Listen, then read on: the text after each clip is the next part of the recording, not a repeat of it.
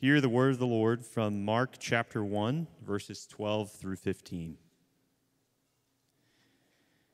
The Spirit immediately drove him into the wilderness, and he was in the wilderness 40 days, being tempted by Satan. And he was with the wild animals, and the angels were ministering to him. Now, after John was arrested, Jesus came into Galilee, proclaiming the gospel of God and saying, The time is fulfilled, and the kingdom of God is at hand. Repent and believe in the gospel. This is the word of the Lord. You may be seated. Peace be with you. As Nate said, my name's Adam. I'm one of the pastors here. And today we're going to continue our sermon series in the book of Mark by looking at Jesus tempting in the wilderness and his proclamation of the kingdom. So before we dive into our passage today, I think it's important to be reminded of a key aspect about the wilderness that we've learned over the past couple of months. And that's this we've learned that the wilderness is a place of testing and preparation where character is formed and built. And so, through tr- trials and through tests, we get insight into our spiritual maturity. Areas of sinfulness and areas of faithfulness are revealed. And so, the reality is that this has been a wilderness season for our world, for the church as a whole, and for Sojourn in particular. Everyone has been affected by trials in some way. Whether it's increased impact by sickness, the loss of loved ones, whether it's isolation, anger, unforgiveness, whether it's job loss or financial stress, the list really goes on. So everyone has been affected over the last couple of years.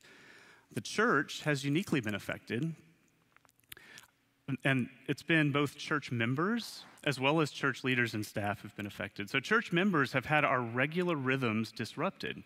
And some have struggled to get back into the healthy habit of regularly attending church on Sundays and regularly engaging in Christian community.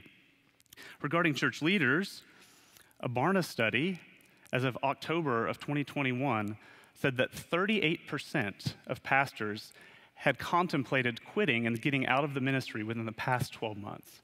And that's up from 29% just a few months earlier in January of 2021. And so things have been difficult for the church and for church leaders. Sojourn has certainly had our fair share of trials. If you think back to when we were planted in 2010, here in the Heights, a neighborhood that at the time was only 4% Bible believing Christians with a vision of planting churches that plant other churches, we have been under consistent opposition from the enemy since that time. And over the last couple of years, it's been particularly difficult, really, with attacks coming on multiple fronts simultaneously. So, whether it started with some division amongst staff, if you guys remember the first Sunday we were here, COVID came the next Sunday and we had an extended season without being able to gather right? We had our building next door with a freeze in Houston. I mean, when does that happen, right? We have broken pipes, unable to meet in our Sojourn Kids space. We have, uh, sadly, dismissing our lead pastor. And the most recently, a really difficult church discipline case that was painful and has affected many of you. So, Sojourn, we have been in a wilderness season, not just for 40 days, but really for multiple years. And so, as we dive into our passage today, we just should recognize that this is not theoretical. This is something that we are experiencing, even though many days we may fail to realize that. But as we see in our, our passage, testing precedes kingdom expansion.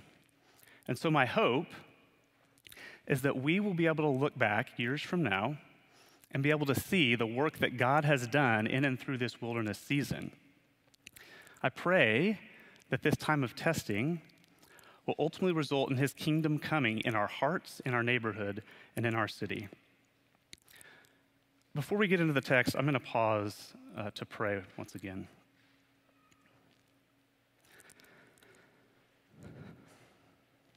Father, as I sense the opposition of the enemy even now,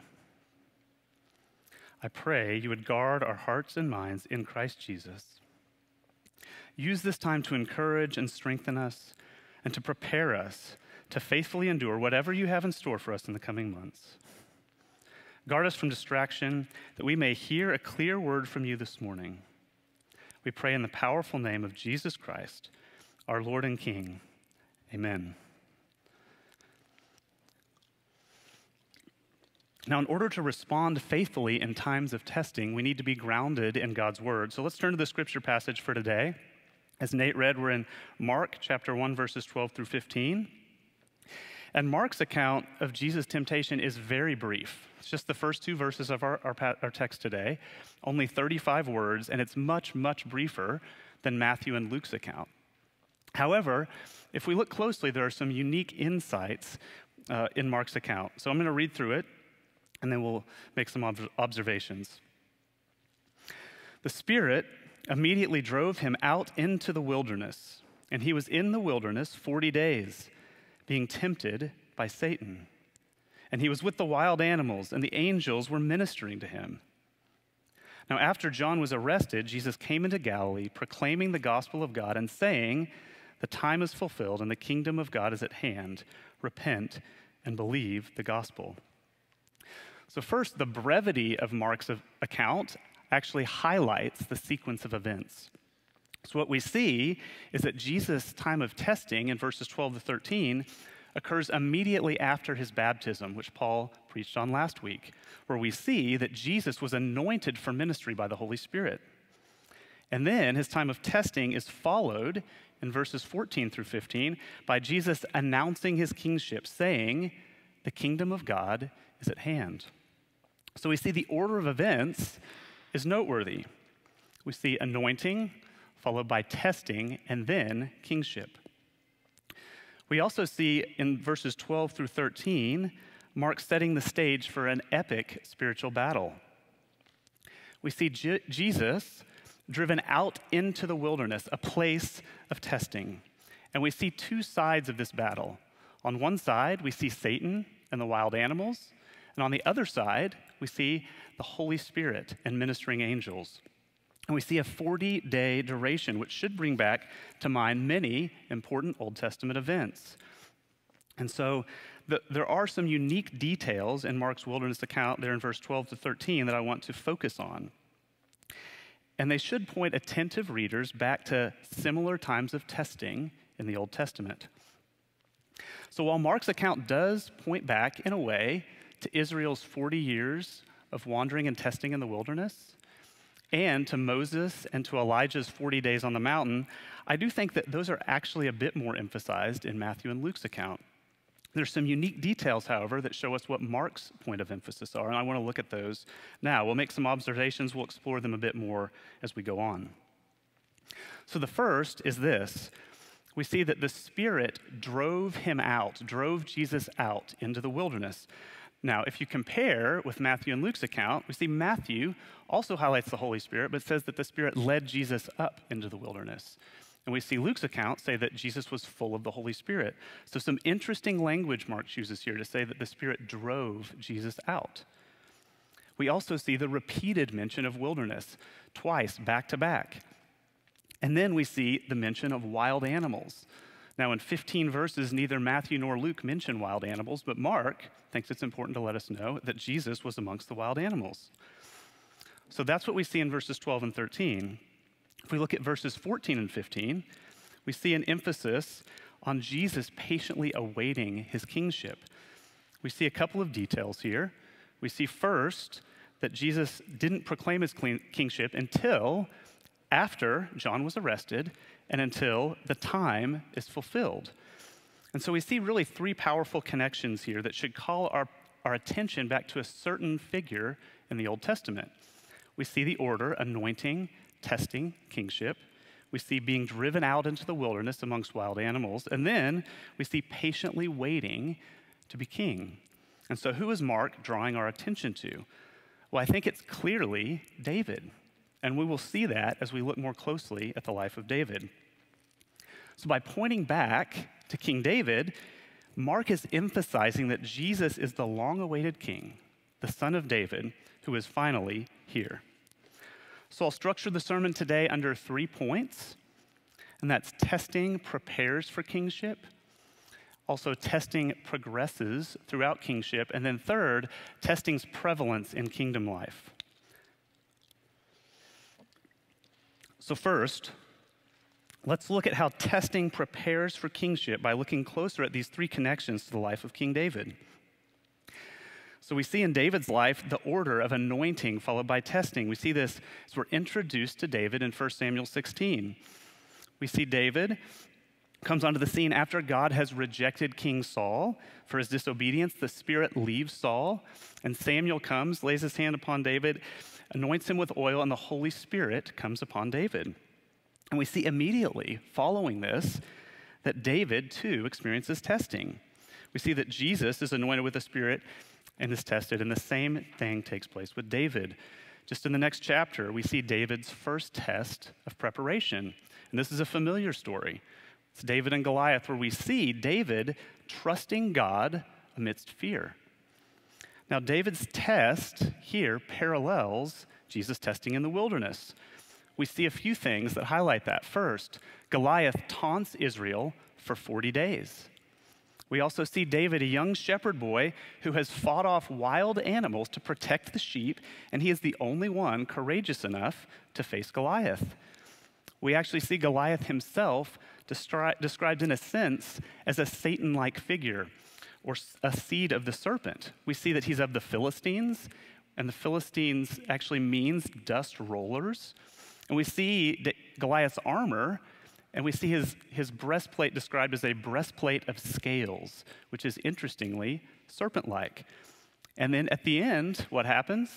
David defeats Goliath by crushing the, his head, which points back to God's promise in Genesis 3 that the seed of the serpent would crush the seed, excuse me, that the seed of the woman, an important distinction, would crush the head of the seed of the serpent.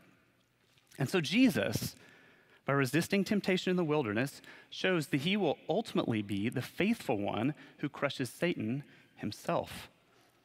Now, David has another test of preparation that follows a few chapters later in 1 Samuel 24.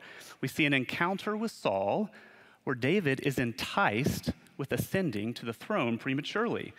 So here, David's test demonstrates his patience in waiting to be king. We see a harmful spirit has come upon Saul, is tormenting him, and is, in a way, causing him to regularly seek to kill David. And so, as a result, David is driven out into the wilderness. We see David and his men actually hiding in a location called Wild Goats Rocks, which hopefully you can see the connection there to wild animals. And Saul comes into the cave alone to relieve himself. And David's men tempt him, saying, The Lord has given your enemy into your hand. So, what does David do? He resists the enticement to ascend to the throne prematurely. Instead, he patiently waits. He recognizes that Saul remains the king of Israel. And so we see in our passage today that Jesus too patiently waited for the time to be fulfilled, to begin his kingship. And so both David and Jesus are anointed by the Spirit, they're, they're faithful as they're tested in the wilderness, and they patiently wait to begin their kingship. Now we've seen how testing prepared David and Jesus for kingship, but God also uses trials to prepare someone for life under Jesus' kingship. To those of you here today that are not yet followers of Jesus, God uses trials in your life many times to help you realize that the things you're putting your hope in are ultimately not going to satisfy, and to help you recognize that you're not really in control of your life. A C.S. Lewis quote, quote helps highlight this.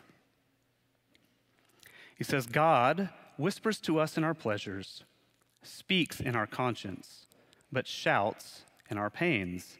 It is his megaphone to rouse a deaf world. So, if you've been experiencing trials and hardships, consider that perhaps this is a word from God calling you your attention and drawing you to Jesus. Perhaps He's even brought you here this morning for that reason. And for those who are Christians in the room, just think back to your time and your testimony, time before you followed Jesus, Many times, God has used difficulties in your life to help you come to the point of recognizing your need for a Savior. So, while testing prepares for kingship, what we'll see is that the testing does not stop there. So, let's move to our second point, which is this that testing progresses throughout kingship. Testing progresses throughout kingship. So Jesus' time of testing did not end after 40 days in the wilderness. It continued throughout his ministry, culminating when Jesus willingly went to the cross.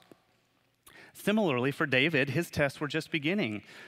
So shortly after Saul dies, David becomes king of Israel. We see this in 2 Samuel chapter 5, and he continues to be tested. His first kingly test is another familiar one, where we see David enticed by Bathsheba. This is in 2 Samuel chapter 11. So we see David at home when he should have been out at battle, goes out onto the rooftop, rooftop and he sees Bathsheba bathing. He sends for her and he sleeps with her. So this is an obvious failing of this test of enticement. David has coveted his neighbor's wife and then committed adultery with her. We see a few chapters, uh, excuse me, immediately afterwards, we see his second test, and that is his fear of his sin being discovered. So Bathsheba informs David that she's pregnant, and David is faced with a choice. Should he cover up his sin or should he confess his sin? Well, he decides to call Bathsheba's husband home from battle. But thinking of his fellow soldiers, Uriah refuses to sleep with Bathsheba. And so David eventually orders the army to leave Uriah on the front lines to be killed. And so, in order to cover up his initial sin, David sadly commits an even more grievous sin. So, how can David, an adulterer and murderer, be called a man after God's heart? Well, it's because of how he responded to his sin, to his failed test. And he responds with heartfelt obedience. See, David cannot hide his sin from everyone, he cannot hide his sin from God. And so God sends Nathan the prophet to confront David in his sin, and David's repentance is shown in great detail in Psalm 51. So, as an aside, if you're, whether you're a Christian or not, I would encourage you if you are caught up in sin, or if you're seeking to cover up sin, go and read Psalm 51 and ask God to show you how you too can repent. So, what was ultimately at stake in David's testing and in Jesus' testing? Well, David represented Israel as their king. So, the consequences of David's sin not only affected him and his family, they also affected the entire nation of Israel. Even more significantly, with Jesus, the salvation of the world literally hung in the balance on Jesus perfectly passing this first test in the wilderness and passing every test thereafter. See, on the cross, Jesus died the death that is deserved by all those who fail their tests. And those who repent and believe are credited with Jesus' faithfulness. So, to summarize, whereas David proved to be an unrighteous king, he chose to satisfy his own desires, even sacrificing someone else by putting them to death. But yet, Jesus laid down his own desires, even to the point of death, demonstrating himself to be a perfectly righteous and self sacrificing king. And so, hopefully, after that time looking at the life of David, it's clear that Mark was intentionally comparing Jesus to David, and by drawing readers' attention to the imperfections of David, we highlight the perfections of our Savior, of Jesus. And so, it is good news that the kingdom of God is at hand because Jesus is the type of king that we all need and that we all should want. So, since Jesus passed every test perfectly and defeated Satan, what is the place of testing in the life of the Christian? We're going to move to point three, which is testing's prevalence in kingdom life.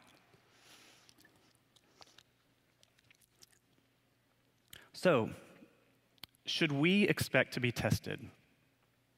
Well, 1 Peter 4:12 makes it fairly clear. It says this, "Beloved, do not be surprised at the fiery trial when it comes upon you to test you, as though something strange were happening to you." See, throughout the scriptures, God has always tested his people, and we should not think that we will be exempt from his, this testing. So, what's at stake in our testing? Well, thankfully, the salvation of the world is not at stake in our testing.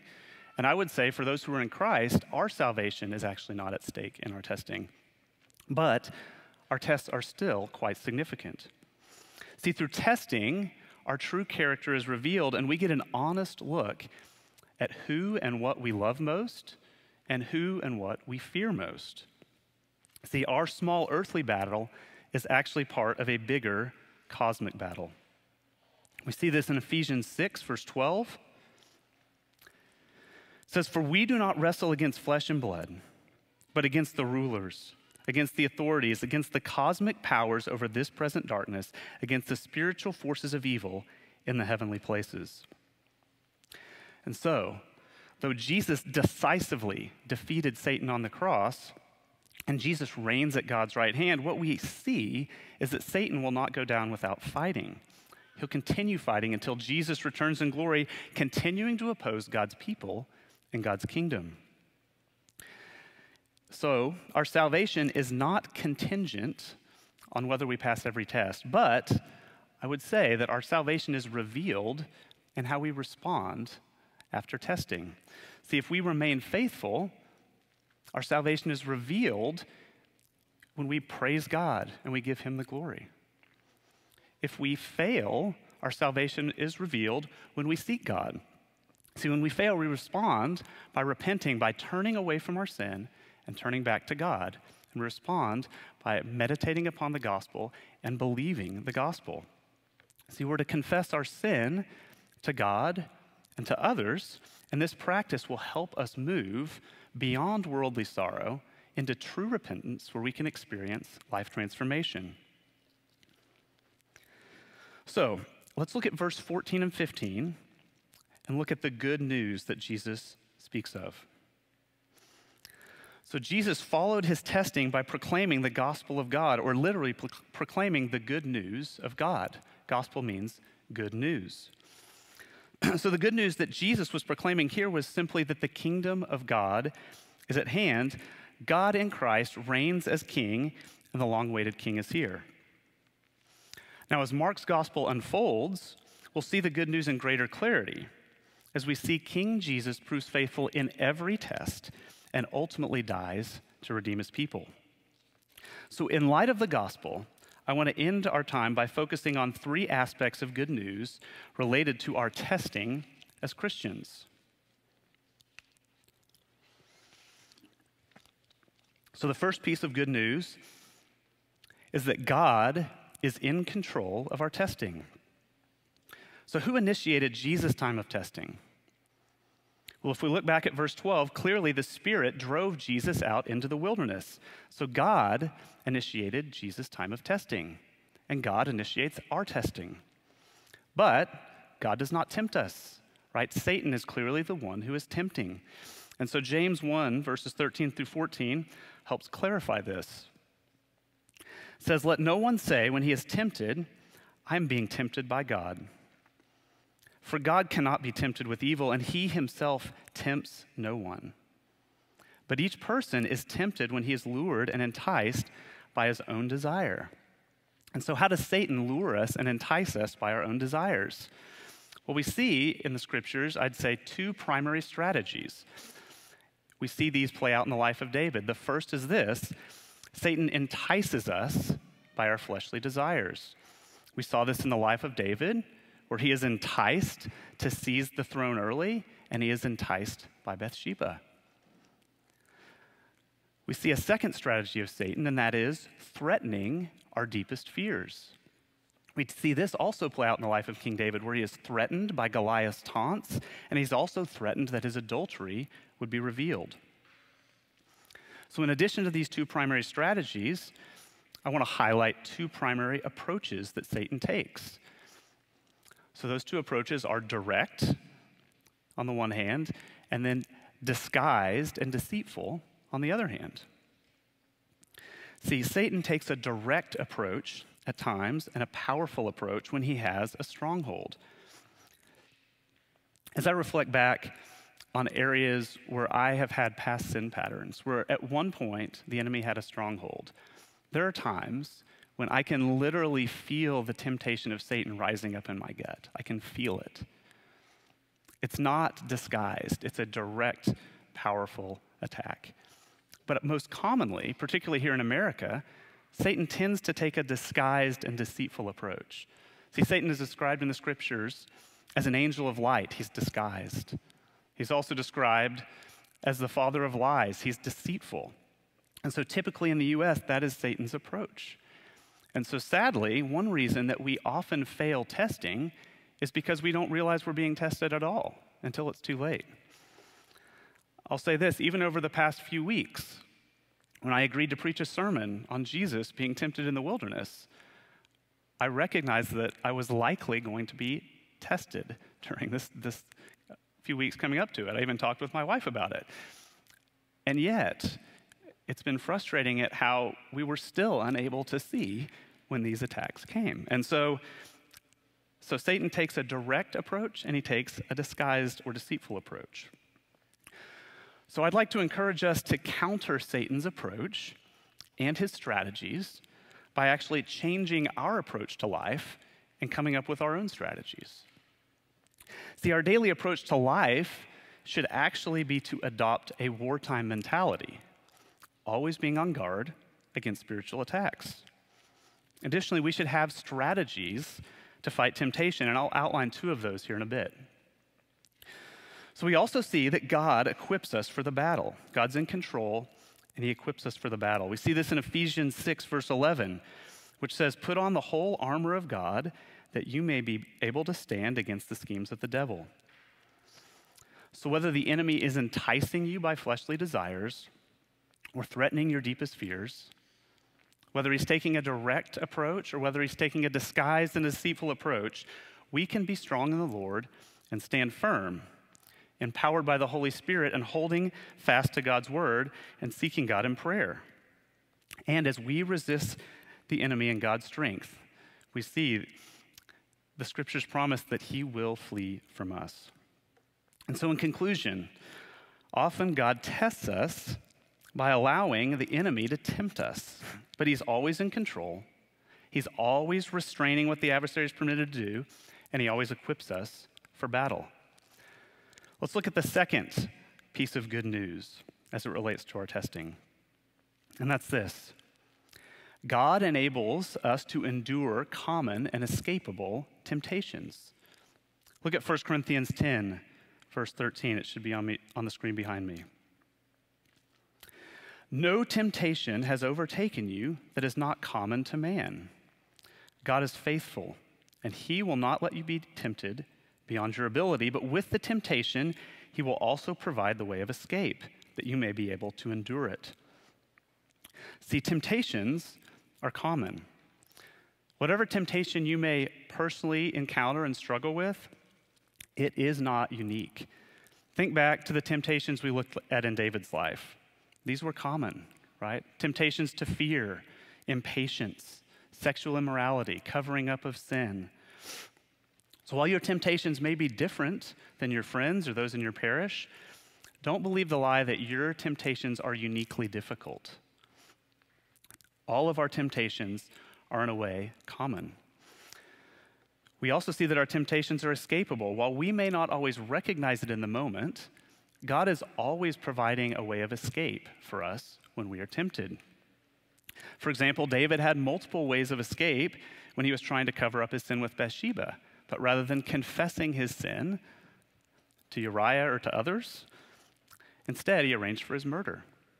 And so I'll say, as I reflect back on my life, some of the most regrettable things are when I can see that God had provided a way of escape, and yet I willfully did not take it. We also see that we are able to endure temptations. So I think it's important to note that temptation itself is not sin. See, Jesus was clearly tempted in the wilderness, and yet the scriptures are abundantly clear that Jesus never sinned. And so, I highlight that because there should be no shame in being tempted. There should not even be any shame in how you're being tempted. But the enemy wants you to feel embarrassed or ashamed just for the fact that you're being tempted, so that you'll try to fight your battle alone. And so, one strategy is to not fight temptation alone. See, Jesus had the Spirit and ministering angels with him while he was being tested in the wilderness. He also had his disciples with him when he was in Gethsemane, about to go to the cross. And, and they were there to pray for him when they were not falling asleep. Uh, so I say this to say we should ask our community to help us fight temptation. Now, just like the disciples failed, our community is not perfect. They are not going to be the answer, and we cannot seek them as the primary means to fight temptation. But God may be providing your community as a way of escape. So engage people in your parish. Maybe it's just a couple of, er, of men or women that you trust, depending on what you're talking about. Engage your roommate, a spouse, a close friend, and ask them to help you in your temptations. Share what you're experiencing, how you're prone to temptation, and how you're being tempted currently. And I'll say this when you ask someone to pray for you, they'll, they'll speak words of encouragement and love, and God uses their prayers. So, because God equips us for battle, and because we're not alone, we're able to endure temptations. And I'll actually say this even in the last 48 hours, as I meditated upon what I was prepared to preach and started to see the enemy's attacks for what they are, I've actually seen that play out, and that it, feels like the enemy has fled. And that is encouraging. And there's been a lot of people praying for me, and I'm appreciative for that. So let's turn to the final piece of good news related to our testing, and that is this that Jesus sympathizes and helps in our time of need. Let's look at Hebrews 4 15 through 16. It says this For we do not have a high priest who is unable to sympathize with our weaknesses, but one who in every respect has been tempted as we are, yet without sin. Let us then with confidence draw near to the throne of grace that we may receive mercy and find grace to help in time of need. See, if we think Jesus only faithfully resisted temptation by leveraging his deity, then honestly, we're going to struggle to think that Jesus sympathizes with us in our testing. See, as Paul highlighted last week, Jesus is fully God and he's fully man, but yet he emptied himself. He emptied himself of certain aspects of his divine nature, taking on humanity, and therefore his temptations were real and difficult. See, if Jesus was leveraging his deity to resist temptation, then why is Mark highlighting the Spirit and the ministering angels? That come alongside Jesus to help him fight? Or how could Jesus sympathize with our weakness if he had not emptied himself? So, rather than Jesus not understanding the depths of our temptations, I think it's better to say that we do not understand the depths of Jesus' temptation, and that's because we have not resisted like him. I have another C.S. Lewis quote that I think is helpful here.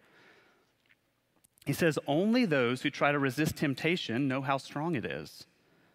A man who gives in to temptation after five minutes simply does not know what it would have been like an hour later. We never find out the strength of the evil impulse inside us until we try to fight it. And Christ, because he was the only man who never yielded to temptation, is also the only man who knows to the full what temptation means. And so Jesus has experienced more difficult temptations than you and I have. And yet, by the power of the Spirit and by the ministering angels, he remained faithful. And because this is true, we can draw near to Jesus and we can trust that he really sympathizes with us in our temptation. And, and he is ready to help in our time of need.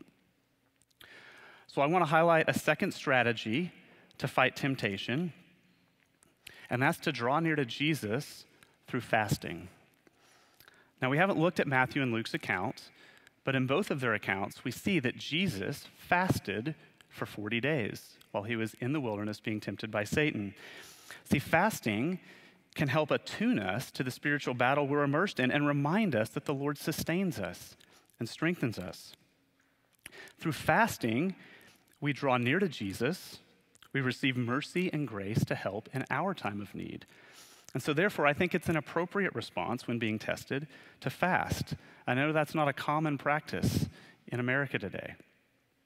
So, I actually want to challenge all of us who are able to join together this week in an appointed time for a church wide fast. Now, we'll send out an email with details, and I would just ask you to prayerfully consider it. Prayerfully consider joining us. Ask God to help us endure this wilderness season and to keep us faithful. So, in closing, honestly, many of us are discouraged. It's been a long season of testing. For some of us, it feels like this wilderness season is never going to end. So, as we end our time today, I want us to meditate upon the reality that everything, all of our wickedness, all of our sin, all of our regrets, all of our shame, all of our failed tests have been dealt with by Jesus. None of this has been outside of God's control, and no tests will be outside of God's control. And our King Jesus, who perfectly passed every test and resisted every temptation, he sympathizes with us, he's sustaining us, and he stands ready to help in our time of need. So turn to Jesus, trust him. He will keep us faithful amidst testing, and he will empower us to continue to proclaim and build God's kingdom even amidst testing. Please pray with me.